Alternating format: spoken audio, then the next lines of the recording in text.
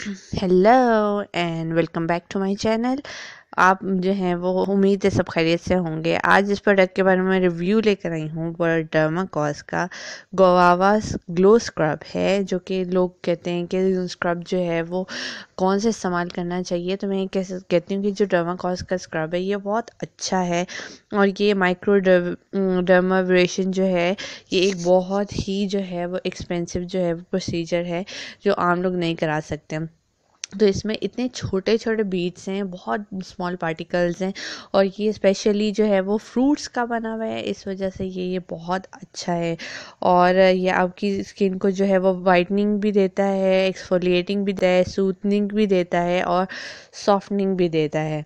और इसमें जो है, इन्होंने कोई आर्टिफिशियल फ्लेवर्स वगैरह इतने ज़्यादा नहीं डाले, ज़्यादातर जो है वो फ्रूट्स की जो है वो पार्टिकल्स डाले हुए हैं, जो कि माइली एक्सफोलिएट करता है, आपकी नरिश करता है स्किन को। और ये बहुत अच्छा है एक्सफोलिएशन करने के लिए स्किन को ये एक्टिवेट करता है, आपके सेल को जो कि डैमेज हुए हुए होते हैं रिड्यूस करता है अपेयरेंस ऑफ़ फाइन लाइंस को और रिंकल्स को। और ये आपको ये प्रोवाइड करता है एंटीऑक्सीडेंट्स इसमें बहुत ज़्यादा है ब्राइटनर्स बहुत ज़्यादा हैं, जिसकी वजह से आपकी स्किन एक नीट और एक ग्लोइंग स्किन जो है वो बन जाती है।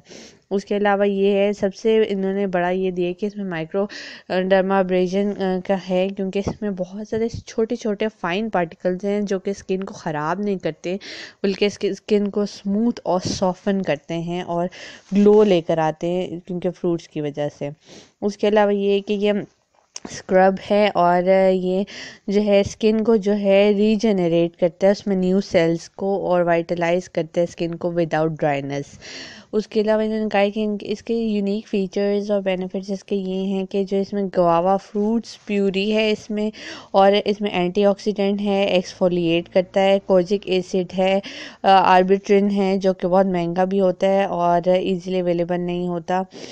और उसके अलावा कॉर्बिक एसिड वगैरह एंटीऑक्सीडेंट नेचुरल ब्राइटनर्स हैं रसबेरी सीड्स वगैरह हैं और ये स्किन के लिए बहुत अच्छे हैं टू एक्सफोलिएट इन्होंने यहाँ पर जो है, जार में जो है, वो स्पून भी दिया है स्पेचुला भी दिया है ताकि जो है, वो कोई बैक्टीरिया वगैरह जार के अंदर ना जाए और आपको जितनी अमाउंट में चाहिए उतनी जो है वो आप क्रीम बाइंड निकालें और उसके बाद आप जो है, वो अपने हाथ पे लगाएँ और अपने फेस पे जो है, वो उसको लगा के अपने टेन टू ट्वेंटी मिनट्स अपने सर्कुलर मोशन में आपने मसाज करनी है और मसाज करने के बाद आपने उसको रिमूव कर देना है अपनी स्किन पर से। उसके अलावा ये कह रहे हैं कि ये हंड्रेड परसेंट जो है वो सर्टिफाइड है टेस्टेड है नो साइड इफ़ेक्ट्स और ये ग्रीन कलर का इसकी खुशबू बहुत अच्छी है और आप लगाते हैं तो आपको इसकी खुशबू बहुत ही अच्छी लगती है क्योंकि नेचुरल है तो बिल्कुल ही जो है वो हार्मफुल नहीं है स्किन के लिए।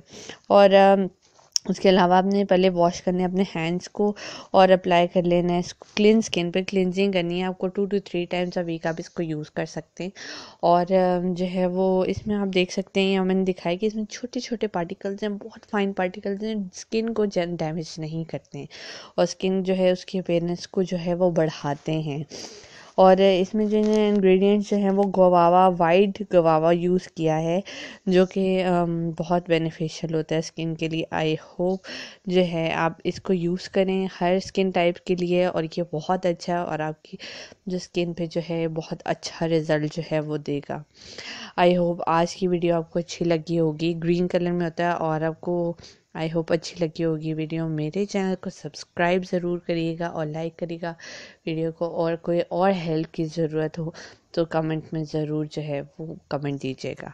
अपना बहुत सारा ख्याल रखिएगा और हमदर्द टिप्स एंड ट्रिक्स को ज़रूर जो है वो सब्सक्राइब करिएगा। ओके जी, अल्लाह